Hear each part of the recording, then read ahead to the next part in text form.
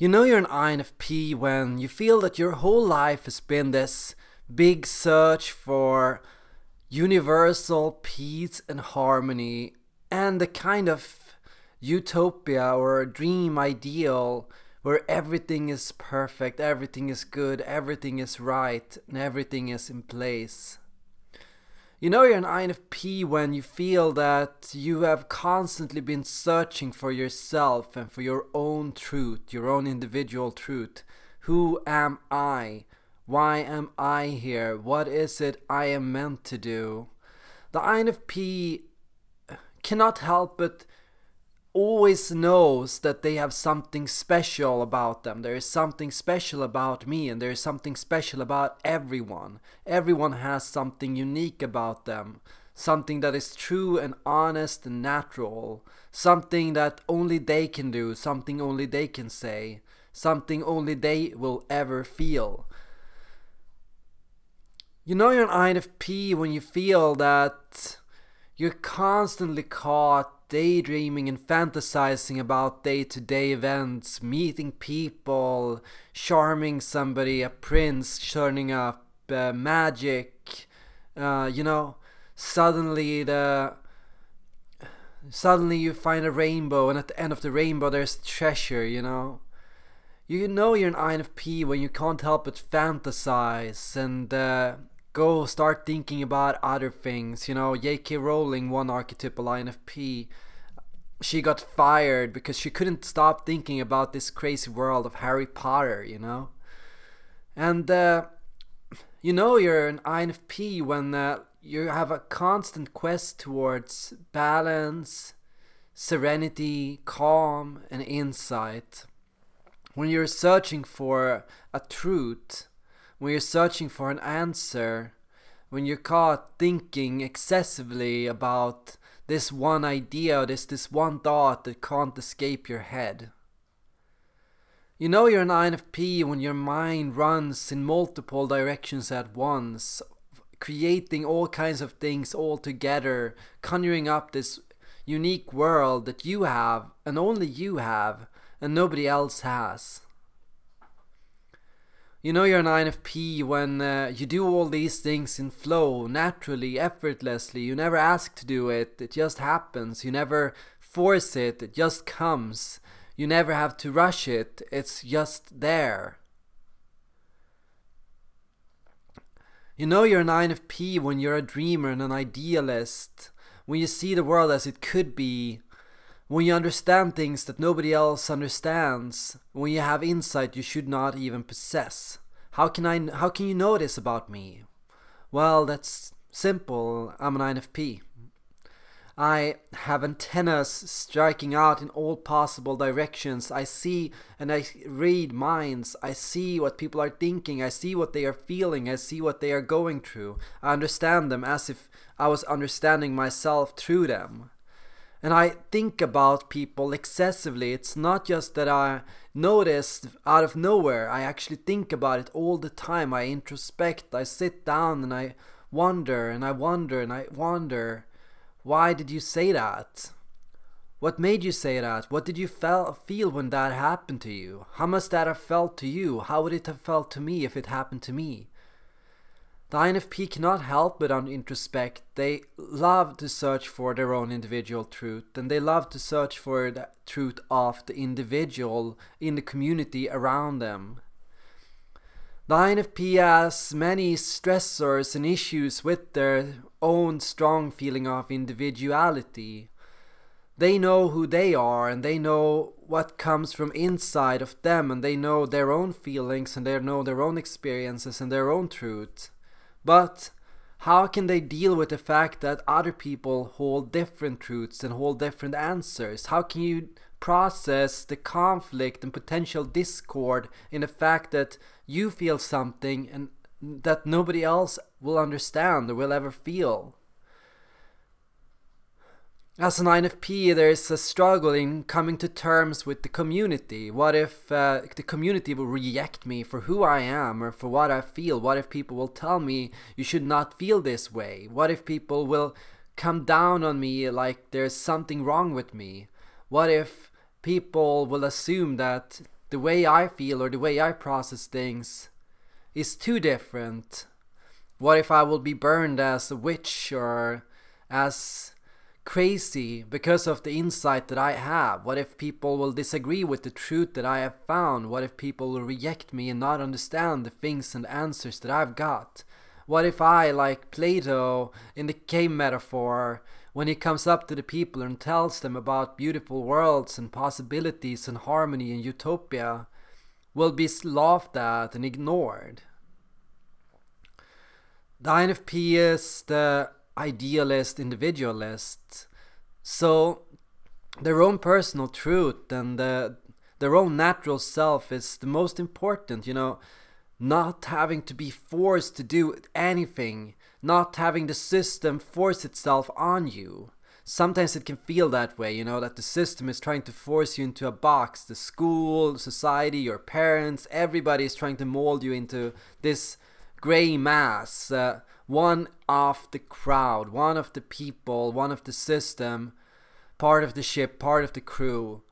Uh, the INFP can struggle with this uh, force, or this feeling of force that comes from the system. But at the same time, the INFP must understand that I have an individuality that nobody can beat out of me. I have a truth that no person can scoff at or laugh away. No matter what people say, it will always be there. This will always be my truth. Because as long as I am here, this truth will be here too.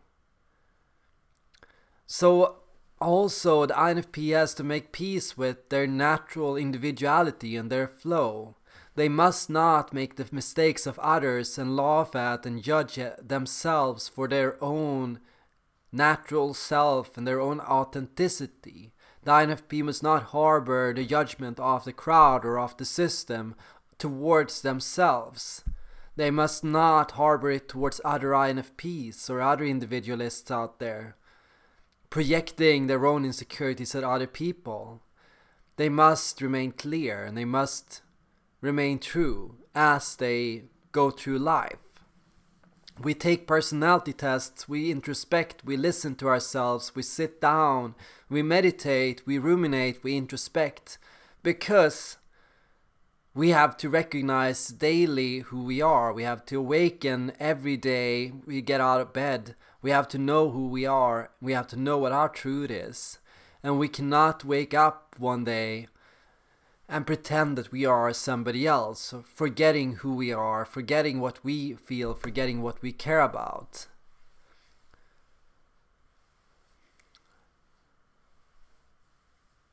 I do personality psychology because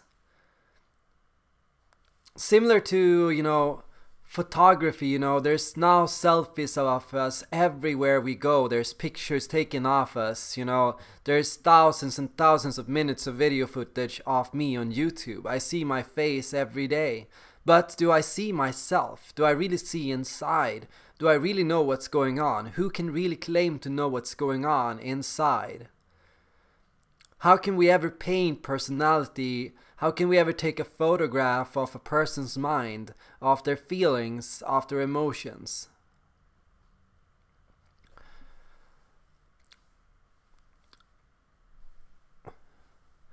What choices can we make if we don't know ourselves? You know, what careers can we get? What should we work with? What should we do for a living? How can we make these decisions if we don't know ourselves?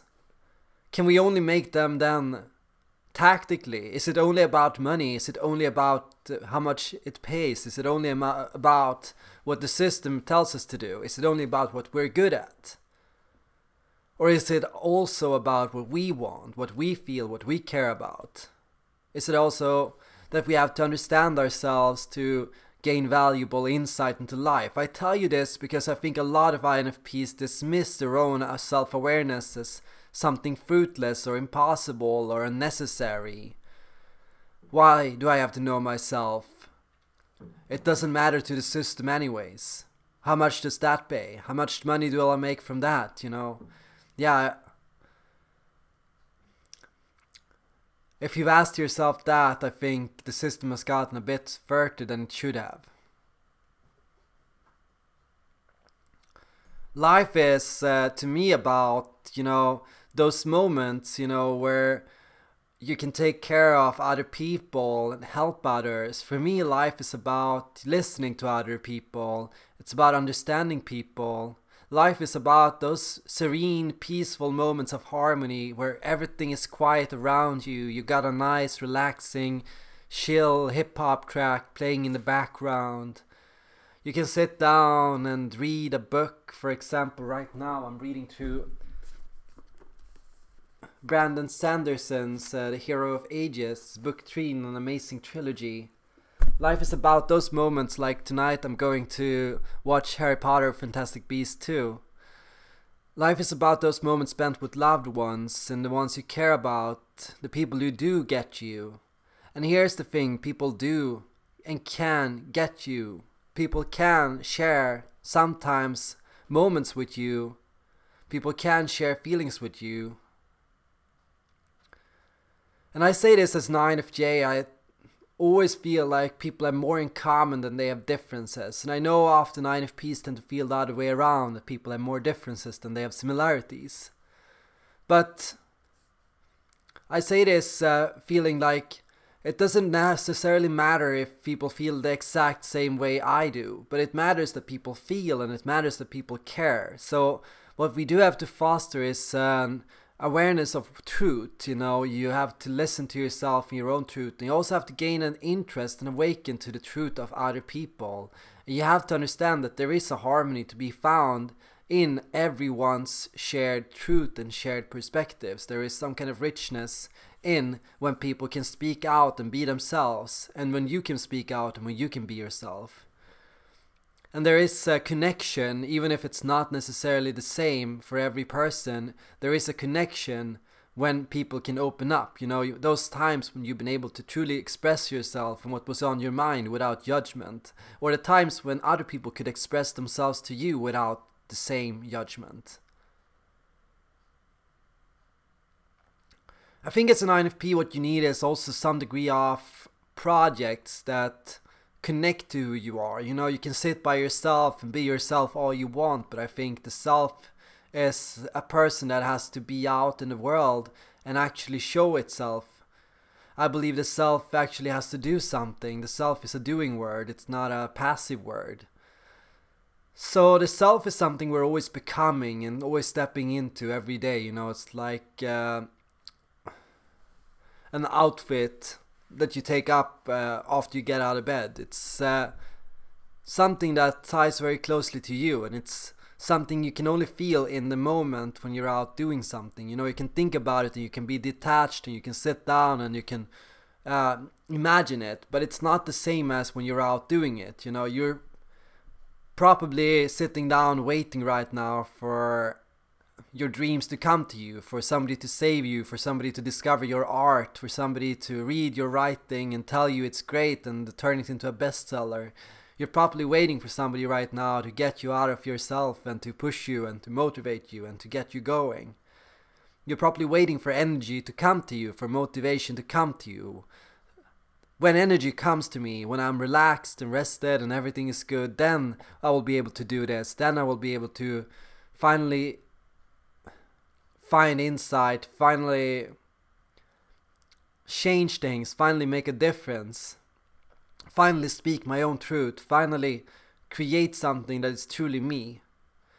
But energy and motivation is something that comes to you in the moment when you do these things. Energy is something you feel, it's a reaction, it's uh, when you start out saying something and then, as you do, as you've said it, you feel the force behind it and the truth behind it, and then you feel the motivation, this feeling that I said something important, I said something to be proud of, I said something that brought me pride and satisfaction and joy, and I said something that gave me energy and a rush and thrill. So, as an INFP, what I tell you is uh, find find your flow type. Find your introverted intuition. Find your introverted feeling. Find your feeling perceiving. Find your intuitive perceiving. Find those things, find your idealism, find your individuality. In every moment, in every interaction with every person you meet. Find your individuality, speak your individuality, show your individuality, show your ideals, show your dreams, share who you are. Speak truthfully about yourself. Speak the deepest, innermost truth that you have ever found about the world and about yourself. Speak and say something different, something nobody has ever said before. Speak and speak for your utopia or for your dreams or for the purpose of harmony and for a peace of mind and for a better world. So this is my rallying cry to all INFPs out there. Go out and make the world a better place. Go out to the groups and organizations out there that you somehow fear will try to interfere with your individuality and with your personal values. And go into these groups and organizations and remain true to yourself. Because no person can break you, no organization can change you or your integrity as long as you remember to constantly listen to yourself, to constantly be yourself, and to constantly speak yourself. Thanks for watching and I hope to see you guys in the next video.